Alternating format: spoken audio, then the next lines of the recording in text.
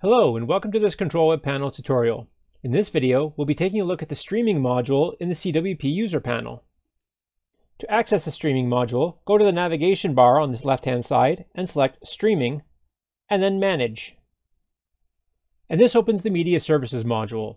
In this module, you can manage different streaming services of different types, including Shoutcast or Icecast. Here you can see a detailed list with your unique identification name, Services created for the user and active from the admin panel, which can be either Shoutcast or Icecast.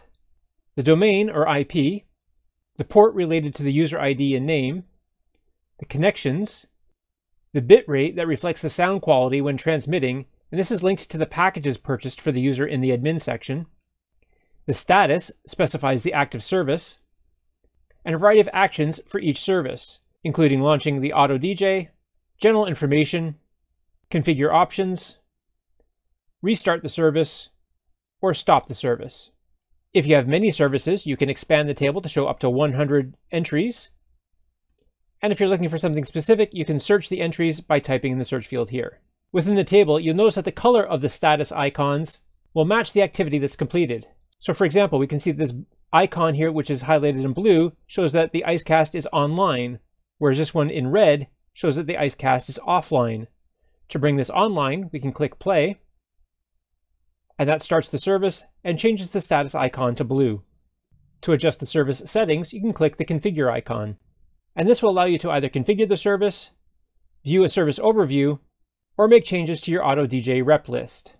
Under the services overview, we can see the address, connections, maximum listeners, bitrate, and disk use in megabytes. On the side, we have options to start, stop, or restart the Auto DJ service. Under the Config tab, you can name the type of service, name the server plan, set the name of the owner, set the port number that the server will run on, associate a domain for our proxy, and change the passwords for the user and admin. If you make any changes, click the Update button at the bottom here. Under the Auto DJ Rep List tab, you'll only have this tab if the Auto DJ service is installed from the administrator.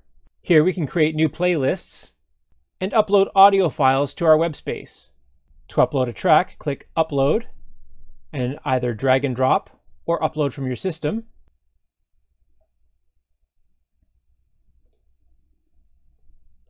And you can upload these tracks to various folders and as many tracks as you want.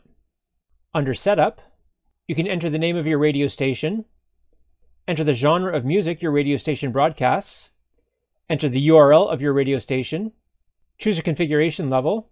Choose your playlists. Set your play mode, either normal or random. Set your list of jingles that you wish to rotate. Set your play mode, again, either normal or random. And set an audio track that will be played when the station is off due to an error. So in this case, we can choose one of the tracks that we already uploaded. If you don't choose a track, AutoDJ will generate an error. So it's important to choose a track to play when the station is offline due to an error. Then you can set your jingles programming. In this case, after one songs, the system will automatically launch four wedges. When you're done, you can save your changes. Once you save your changes, the effect is immediate and you are not required to restart AutoDJ. And that's how to use the streaming module in the CWP user panel. For more information, please refer to the following links. Thank you for using CWP.